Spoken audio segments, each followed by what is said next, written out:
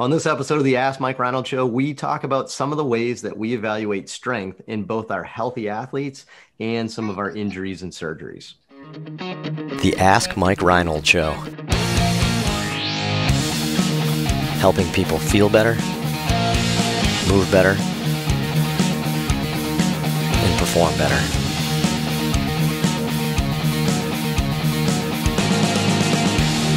Before we get to the podcast, I wanted to make sure you knew about my free online course on the introduction to performance therapy and training.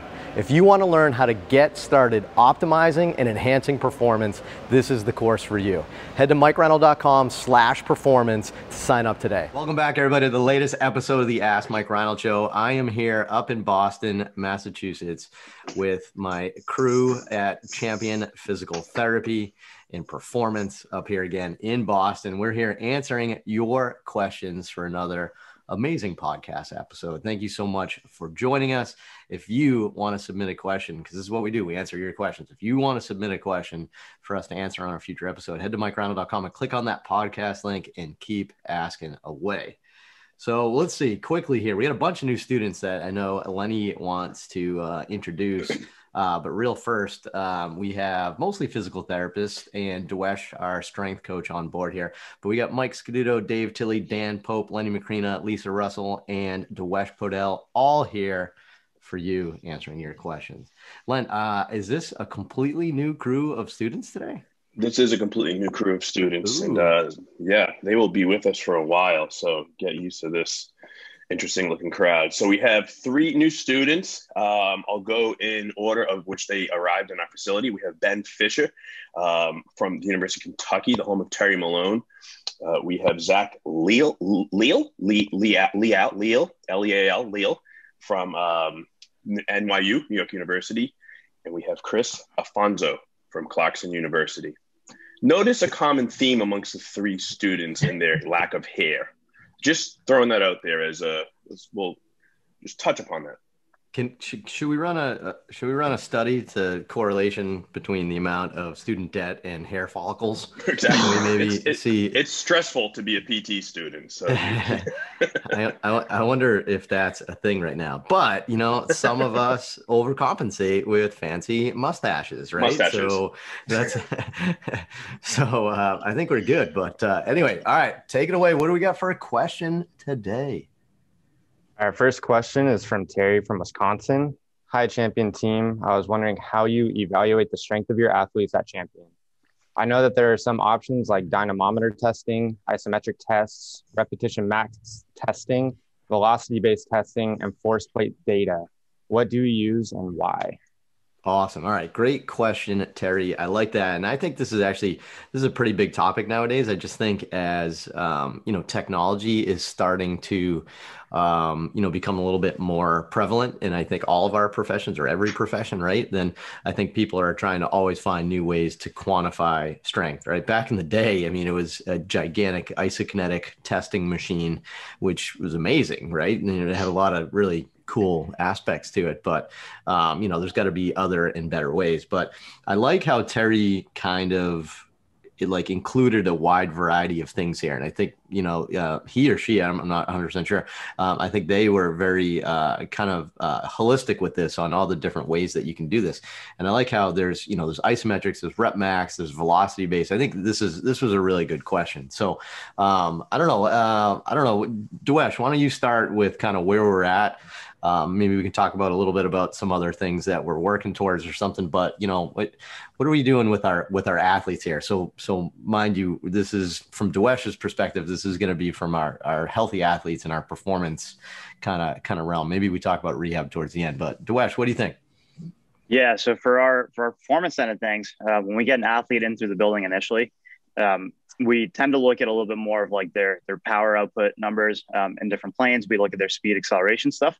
We do do some speed or strength testing if we feel like the athlete qualifies for it, right? So one of our easy ways to do it is actually using VBT. So we use a GymAware device, and the the reason that we use that is we try to gauge an idea of where they fall on the force velocity profile, right? We're trying trying to get an insight into is an athlete really fast but maybe a little bit weaker or they're they really really strong but maybe a little bit slower, right? So we kind of use like a velocity profile testing initially when we get them in through the door.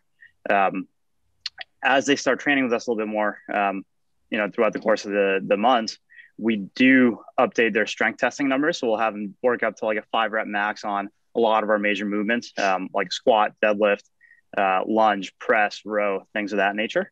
Um, so we'll we'll keep an eye on you know how they're progressing on all their strength stuff for the big movements that we we put a ton of value in.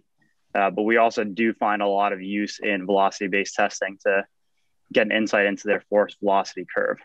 Um, now, stuff that we're working on towards the future, um, I think we are starting to think a little bit about force plate, um, maybe potentially utilizing some of the the fancier tech that's out there to get even better insight into someone, so we can have even a more customized approach to our training, and you know really influence some of the specific nature of our um, our qualities that we're trying to build in our athletes. So that's kind of where we're at right now.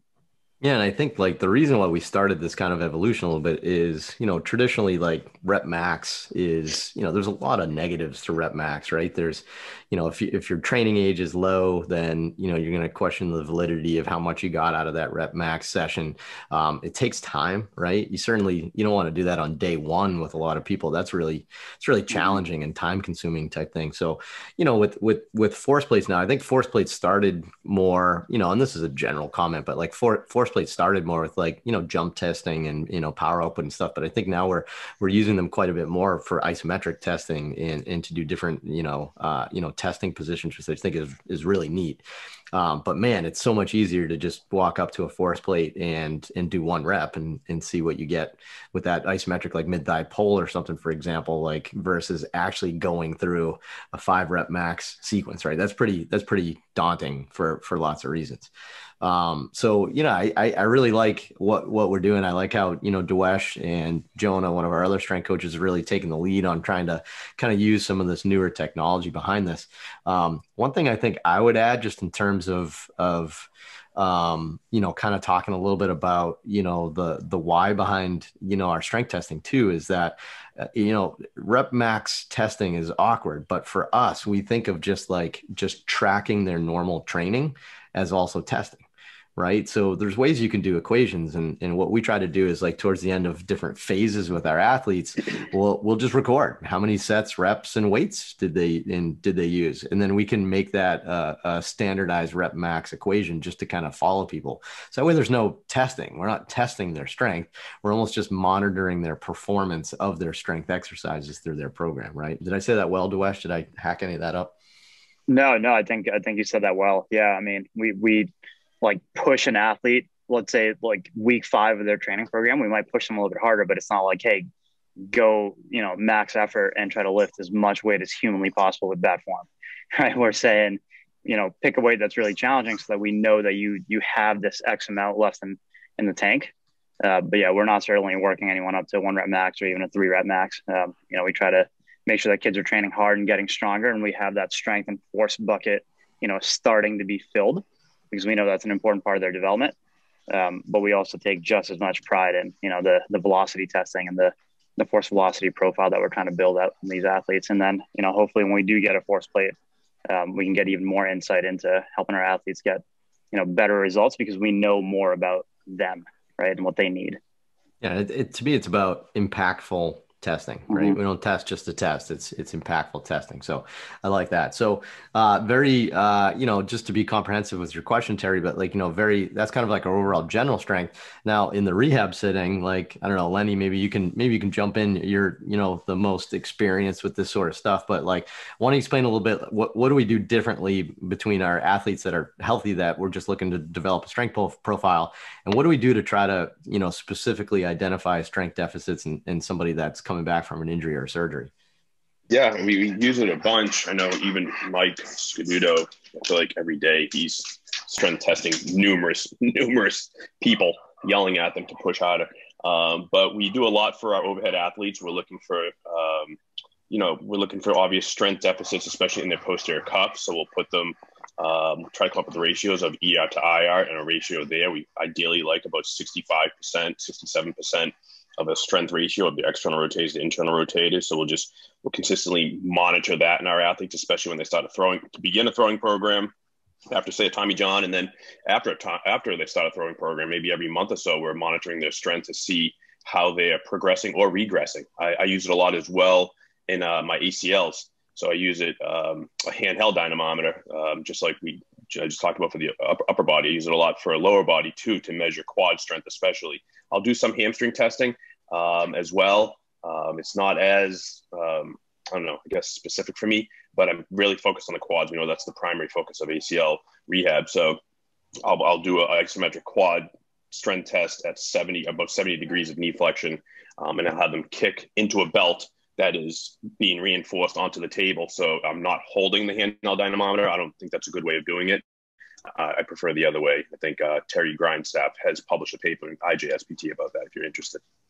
And just to clarify, Len, for your upper extremity and stuff, you're you're talking about using a handheld dynamometer to quantify dynamometer. strength. Yeah, yeah. Everybody's going to ask. Microfet, Lafayette. There's a bunch of new ones out there too that are good. Um, you know, we still have the uh, Lafayette unit that we bought a few years ago, um, but there are other great ones out there um, that um, I don't know. We're, we're, we're kind of looking at we're trying some new ones, and I don't know. I don't know yeah. if they're. I don't know if they're winning the race yet. I don't know the, the yeah. newer, cheaper models. I don't. I don't think we've felt comfortable with their results just yet, but we're gonna keep playing with those. But yeah, definitely Lafayette or yeah. Microfet are the two leaders. But um, yeah. Dave, what do you got? I just wanted to throw in that I've been doing a lot with the hip too. So the same dynamometry stuff. Right. A lot of research right. in Mike's course, and I use that in a couple of people post uh, labral repairs and post PAOs, and had some really good results. But same kind of idea of belt fixation standardize it. I would say uh, it's easier definitely to use your hand for ER and IR when they're sitting on the table. To use the belt on the ER IR is very tough. So you can just stabilize against your own knee and it doesn't budge much. So that's my two cents. Yeah, nice. I think just so people know, it's a for us the way I use it at least.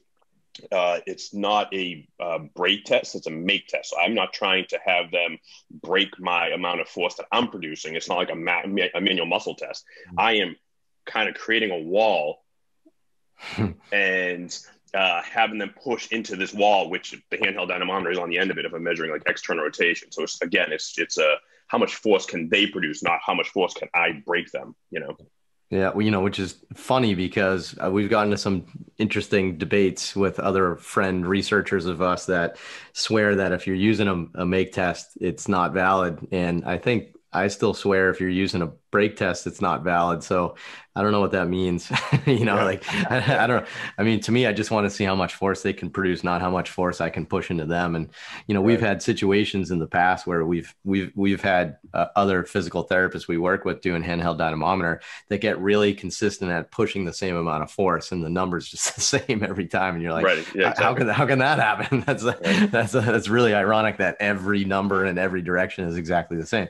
Um, so yeah, I mean, there's a learning curve, you know, and just you know to answer Terry's question, you know, how we evaluate strength. Right? There's a learning curve to handheld dynamometry, right? And I just, I'd kind of like, you know, keep that going. I got to make an inner circle video on that. That actually just kind of reminds me of like the nuances of that because that is one of the harder things that we teach, you know, anybody. And I, I, I, I tell everybody your data for a year is going to be useless, right and hopefully hopefully less than that but you know um, i don't know it's just it's so easy to to do that poorly if you don't have the right technique but um, i don't know I, I think the only other person i think i'd ask I mean, maybe i'm just kind of curious like dan are we missing anything? Like like what what do you, do you do any specific strength testing for an athlete that's specific to their like sport or event? I feel like you'd be a good person to answer that. Anything we miss?